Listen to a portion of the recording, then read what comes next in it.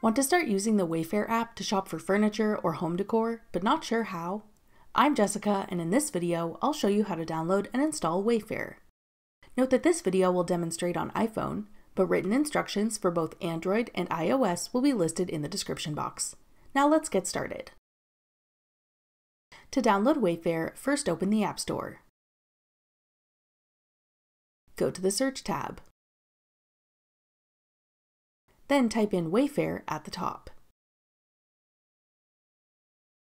Tap Wayfair when it appears in the search results. Then tap Get. If prompted, use Face ID or enter your password to confirm that you want to download the app.